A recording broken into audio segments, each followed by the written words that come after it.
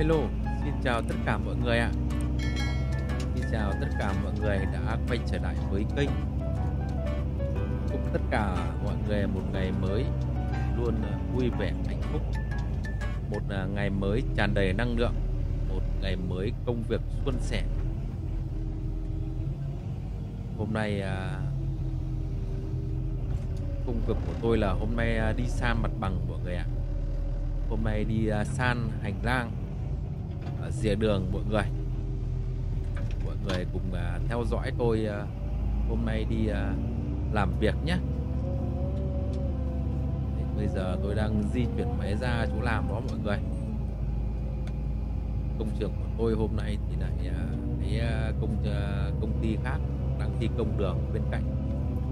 Có con cô Matsu này đang gửi chỗ công trường của tôi mọi người đang làm đốt cái đoạn đường nối liền với lại cái quốc lộ chạy qua đó. Của tôi thì là bên tái định cư. Do con đường này mở, đâm ra đấy con đường mọi người đang xem đấy. Đội basic xích. Còn tôi thì là trong này, khu tái định cư. Tái định cư mới đội thi công con đường này là riêng riêng rẽ mọi người ạ. Đấy, bây giờ tôi đánh máy ra san mặt bằng mọi người. Đấy, vừa cào vừa san lấy mặt bằng đất thì cứ gom cuốn chiếu vứt lại đằng sau. Để thế nào thì mọi người cùng theo dõi nhé.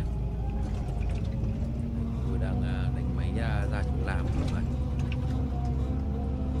Chả làm thế này.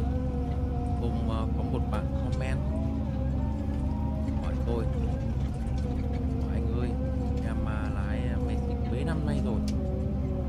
Nhưng mà em muốn chuyển sang máy lốp làm thì có nhiều cái bỡ ngỡ lắm. Anh có thể à, anh à, tư vấn và bảo em một chút được không? Thì, uh, máy xích của em nó lại khác với lốp. Anh uh, có thể dạy em cách làm máy lốp.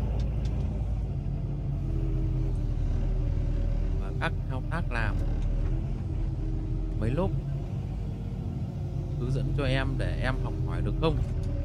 Thì em đang có nhu cầu là em muốn uh, chuyển sang mấy lốp làm anh ạ. Làm mấy lốp thì để làm cho nó gần nhà anh ơi. Như làm máy xích thì uh, đi công trường suốt. Suốt uh, nay tỉnh ngày mai tỉnh kia. Thật ra là cứ lông công suốt anh ạ. Em muốn uh, chuyển đổi sang uh, bánh lốp lúc mình làm tay nghề nó cũng cực 40 rồi thì cũng muốn là việc là gần nhà làm anh ạ. Cho nó gần nhà. Còn uh, có thời gian để đi uh, tán gái kiếm uh, cô vợ anh ạ. Không thì cứ lang thang thế này chết. Mà ở nhà thì uh, mới kiếm được. Cứ lang thang không kiếm được anh ạ. Anh giúp em nhé hôm cũng một bạn thì comment. Nói với tôi như vậy. Thế thì hôm nay tôi sẽ giới thiệu uh, bạn nhé. Riêng bạn đang làm máy xích sang máy lốp thì cũng uh, mới sang là cực kỳ bỡ ngỡ đấy. Nhưng mà bạn muốn sang thì bạn phải lên máy lốp. Ở uh, gần với bạn có con máy lốp nào không? Đấy thì bạn lên đấy bạn đứng ờ, cửa cabin hay là bạn ngồi trong ấy, thì bạn trực tiếp. Đấy thì ờ, máy lốp thì nó khác máy xích ở cái là mình làm mình làm chân ga di chuyển bằng chân ga và có đạp phanh. Thì ờ, máy xích không có máy xích chỉ cũng có hai cái cần thôi. Đấy, đẩy tiến thì nó tiến mà đẩy lùi thì nó lùi. Đấy rẽ phải thì uh, uh, gạt cần phải bên trái là gạt cần trái đấy, lúc uh, đi ờ, ờ, uh, uh, thuận đi nghịch thì uh, cần này kéo ngược nhau. Có thể quay một phát 180 độ luôn đối với máy còn ngon gầm xích còn ngon. Còn những cái loại máy mà nó nhão vào nhà ra rồi thì quay 180 độ phát thì có thể là tuột cả hai giải xích. Mấy xích thì ngày xưa tôi cũng làm rất lâu rồi ngày xưa thì tôi làm máy xích cũng một thời gian thôi. Làm mấy lốp chán này chuyển sang máy xích Đấy, như ngày ừ, ngày xưa tôi là tôi làm mấy lốp chán này tôi chuyển sang máy xích mấy lốp thì cứ phải chạy lông nhông. Cứ thì ờ, tháng này công trường này tháng kia trong công trường kia mấy xích thì nó hay đứng một ở một chỗ. Có khi ông bà chủ nhận được công việc ờ, là một hai năm mở đường làm đường ấy thì, thì là cứ đứng một chỗ ở công trường ấy chỉ làm loanh quanh ờ, phạm vi công trường trong phạm vi khoảng vài cây. Đấy, còn thì làm mấy lốp này thì nó cái thứ nhất là bạn phải à, quen thuộc. Để nói giải thích thế nào cho bạn hiểu nhé là mấy lốp này thứ nhất ấy là bạn phải tìm hiểu các cái công tắc chức năng của máy. Trên máy xúc như kiểu DX Dosan 140 này này. Thì uh, nó quan trọng nhất ấy, là cái nút cài cứng khóa trồng chành có nơi thì gọi là cài cứng như bọn chỗ tôi gọi là cài cứng. Có chỗ thì bảo là khóa trồng chành Đấy. thì uh, máy lốp này thì nó có những cái cơ bản như thế này này bạn cần phải nắm biết rõ này. Thứ nhất là đi số. Như DX140 này thì có số 1, số 2, số 3 đấy. Nếu mà di chuyển trên đường dài thì thường thường uh, ta đi số 3 và di chuyển ở cung trường thì đi số 1, số 2 thì thường thường thì ờ, máy ờ, uh, DX san này nó khỏe lắm. Thường thường di chuyển trong ờ, bãi trong công trình thì toàn đi số 2 đi số 1 1 thì nó chậm lắm. Cứ ga hết cỡ nó cũng chả đi nhanh được. Thường thường thì tôi vẫn đi số 2 Đấy, còn ra đường di chuyển nhanh nhanh thì đi số 3 ra đường trường đi số 3 thì uh, trên cần số thì uh, nó cũng cần số đi số thì nó ở bên tay phải. Cần số bên tay phải mọi người nhé bạn nhé. Đấy, thì cần số mình động vào cần số mình hơi đẩy lên một tí và đưa lên trước là tiến. Kéo ra đằng sau là lùi mình phải hơi đỡ cần số lên thì mình đẩy lên thì nó mới mắc nó mới vào số.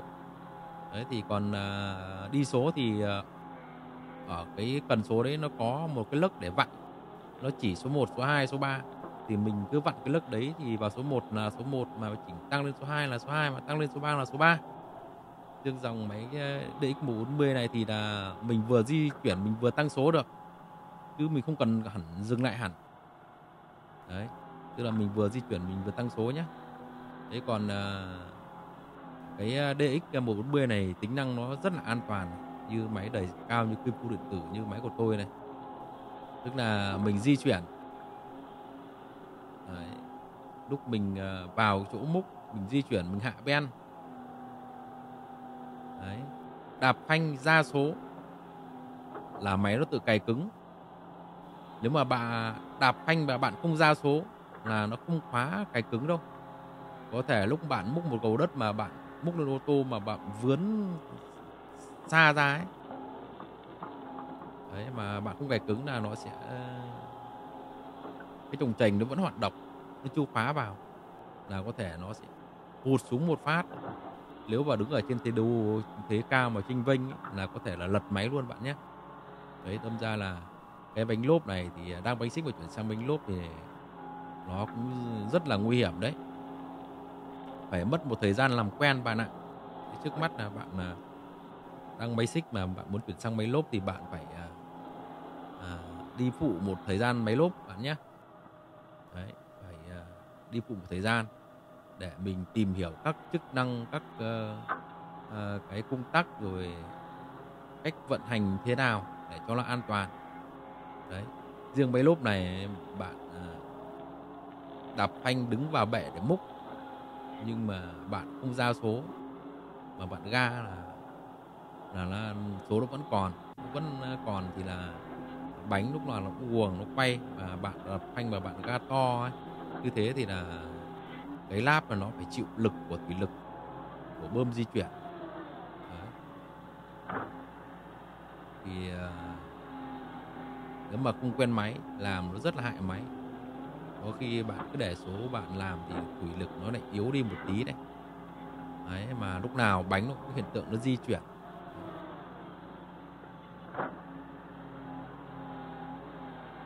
mà sẽ gỉ có khi à, mà mình, lúc mình bắn bảy, mình mới không biết là nó nó vỡ cả may ơ, vỡ cả láp ấy bạn nhé thế đâm ra là nếu một sang bánh lốp thì à, tìm hiểu, làm quen với máy.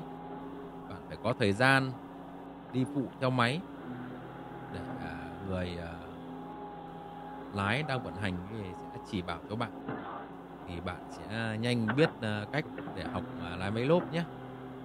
Thế thì máy lốp thì như bọn tôi làm máy lốp này thường thường toàn ca chân thôi. Như bạn ngày xưa làm máy xích thì toàn ca tay thôi. Ca tay với ca tự động như bọn tôi này toàn làm ca chân thôi. Lúc nào mỏi thì làm ca tay, là ga tự động đấy.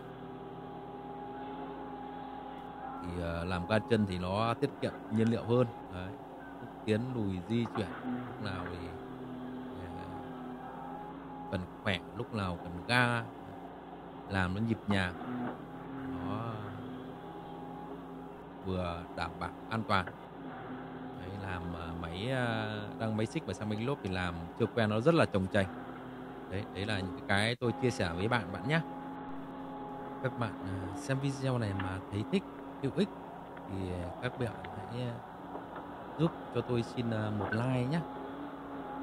Một đăng ký các bạn à, thấy video này à, hữu ích tích cực nữa thì hãy giúp mình một lượt chia sẻ nhé. Xin cảm ơn mọi người. Xin à, thân ái chào tạm biệt mọi người. Hẹn mọi người ở những video kế tiếp nhé. Bye bye mọi người.